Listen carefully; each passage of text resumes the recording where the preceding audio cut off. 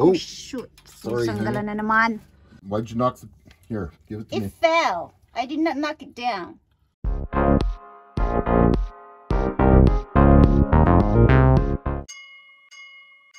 Hello to all our subscribers and friends. This video shows us installing a set of Hellwig helper springs on our Ford F-350 pickup. These helper springs increase our rear overload leaves from 1 to 3. With the camper mounted, there was a noticeable sag. After moving some of our stuff from the apartment into the camper, the sag became even worse. We are hoping the Hellwigs will help alleviate this problem. You gonna open this in first, or that in? Which one? What? Whatever. Just gotta slide them out and get the whole package. But it's much better to do it right here. Why is it you need to be so picky? I just need to slide it out and get the whole package. Wait, This is almost open. Wait, wait, right through there. See it? Yeah, very good. Okay. Shouldn't have to cut cardboard, just tape. There you go. Cardboard is open, okay? All right, so that's what I'm worried about. Here, I think this is the one I want right here. Yeah, Why don't you just take it all out, okay? and we're gonna cut the whole thing open. So much for the unboxing. Yeah, there we go. Over here. Yeah. I can't really see where to cut. Let me do it.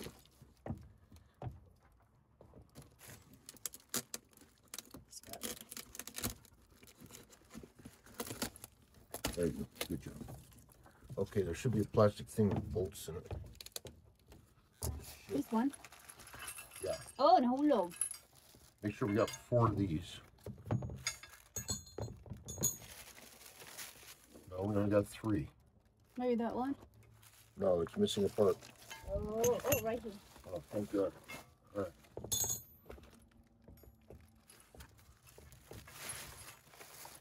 Let's get all these out.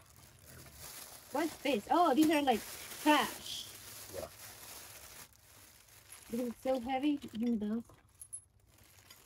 We just gotta make sure we got a socket that'll fit that. What socket? I would say it might be a seven eight, just like our uh, lug nuts. Oh, these. Those are the bars that attach here. You don't have to open them. Okay. So it goes like this. Yep. That's right. Now let me see if I got the I think you got Uh, everything. make sure I have one that'll fit that. Then you go ahead. Okay. We did not do it like that before. I know. We had the two rubber things underneath, remember? Yeah. Can you help me straighten it up a little? Move it. Ew, it's the, it's, It da. doesn't sit quite as square as the other one. this one should be. Excuse me, da. Oh. Why? Is it good or no? No. It should be centered on the block. There. Just like that. Center it up. Move Bring it back. Like that. Yeah. Can, can you bring it? Yeah, like that. this one. It's not solid or some. It's good enough. Okay, here we go. Yeah. Now bring the whole thing this way a little bit. Okay, whatever you like. Well, we can adjust it as it gets up there. Okay. About there. Yeah. Okay. Yeah, you got it at an angle. Make it straight. There you go. Okay. Perfect. Right there. It's centered. I think so. We need to take the wheels first. Yeah, we're only going to be able to do one side at a time. though, It seems like, uh, That's fine. Can you do it? wow, that's got to be a six inch lift. Da. Focus first, right here. It's hard. It's hard. I'm sorry. I'd feel better if you didn't have your head under there just in case, okay? Why? It might fall. It could. And then? Might bang your head. I see. Ah. Is the wheel off the ground? It's already lifted. Okay. That's about it. Maybe a little more, huh? Well, What's gonna happen if we, we take this one off? nothing gonna happen. We're gonna let it down on the jack stand. That's it. Duh, it's not the right one. Why don't just use the other one? You don't want to use a torque wrench to loosen nuts. Oh, okay. No, n- this. Which one is it? The one that fits. Try the biggest one. See if it'll go all the way on there.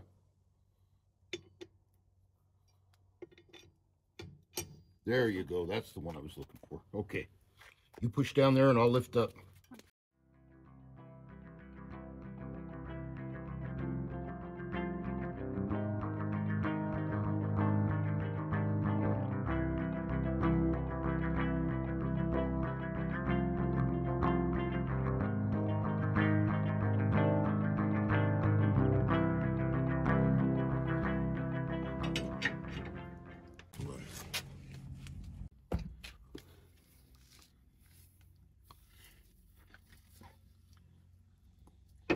See if this looks any different. It might be the same thing. They're the same. Yeah. Move it a little bit right here, like that. That's good. Well, they should be centered. That means the gap should be the same both sides. So just like that. Yeah, they're both the same. I'll need one more nut. No, there's like a there's like a oh, bar. a bar. I need.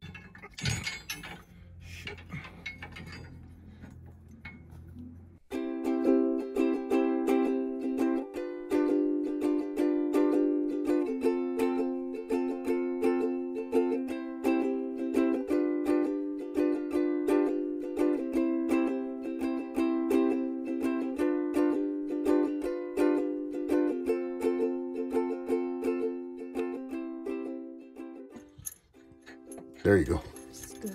Start another one if you can find one that'll go on easy. So the ones that go on rough are the ones that'll be on top of those. Flat washer. Oh yeah, I forgot. I'm sorry. The flat washer should be like this or like that. Yeah, like that. Like that.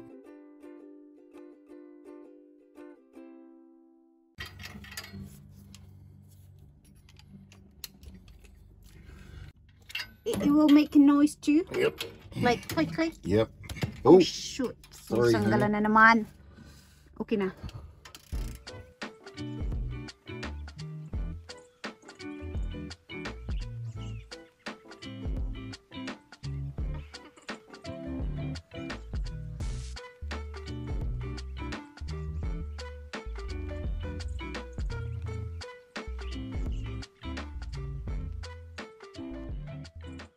Okay. Can you get in there and squirt just the opposite sides of where I did? Oh yeah. Can you see 'em?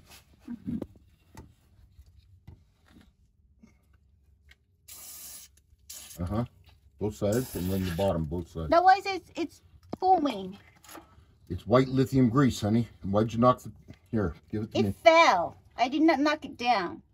Give me a second, okay? Mm-hmm.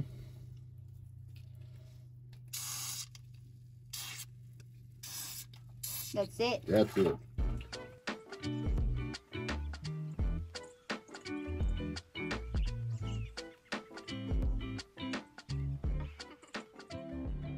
Silicone lubricant is what's recommended for going in between the leaves. Okay.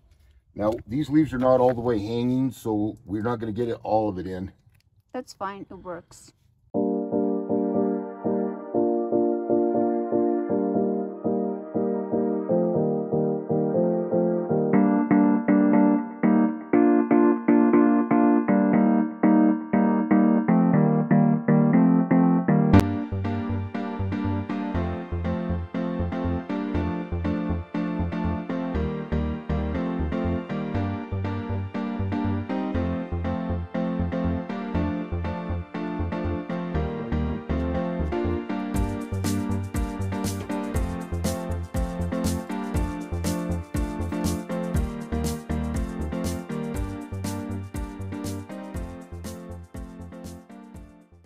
There. Just a little bit more.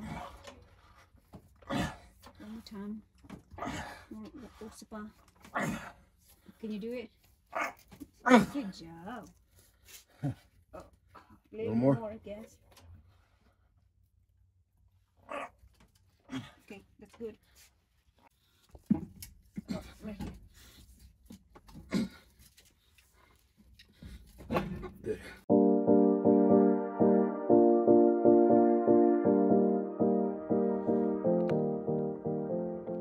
We had also ordered a set of Timbren rubber springs with spacers. So we're now going to unbox our Timbren suspension enhancement devices here and take a good look at them. May need a longer bolt depending on how many spacers we have to use to make it touch the top of the rear axle. But I can dummy that up once we get underneath it. Let's take a look at them. Good. Wow. Here are the spacers. Each one is one inch. I got six of them. Three for each side if necessary. Okay. And here are the Timbrens. Oh. This is the part that bolts to the frame of the truck. Well, let's take these out first. These are the actual shoobaloo here. I see.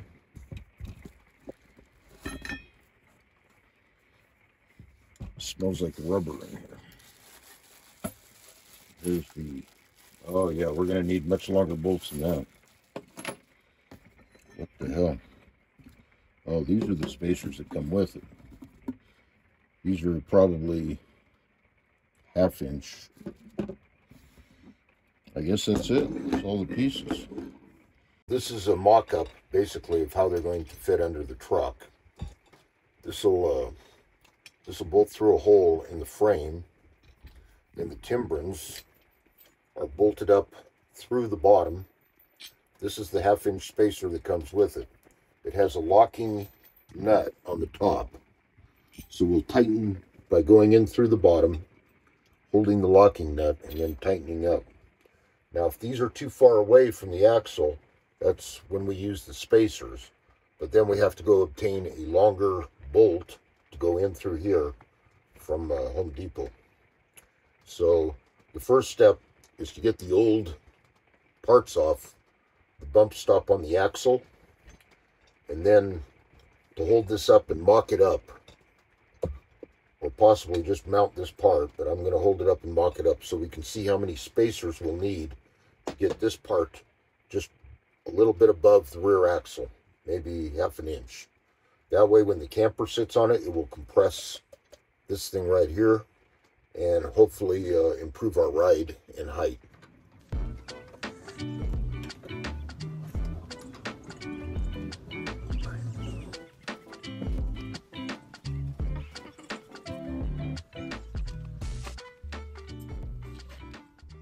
I'm sure he's got one, but I'm going to go digging in his tool. No need now. We'll have to do it with the end wrench. That's fine. How you coming? Good. Did you get that first one off? Yeah, Can I see it? right here.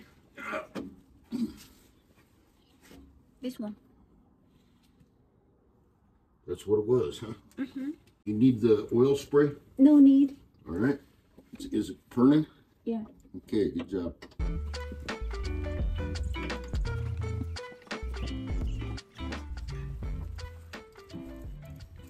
Unfortunately, due to the high lift of our truck's rear suspension, we were unable to use them. Even with all of the spacers, the remaining distance from the bottom of the timbrens to the top of the rear axle assembly was over a foot. We might opt for a Hellwig sway bar in the future. We are also looking at the possibility of installing airbags. We will see how the camper rides with the helper springs installed and go from there. Thanks again for watching. We appreciate you coming along with us on our journey. Until next time, keep it real.